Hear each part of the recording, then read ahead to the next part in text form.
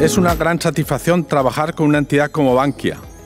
que prioriza por la transmisión de valores que tanto entroncan con nuestra forma de hacer y pensar.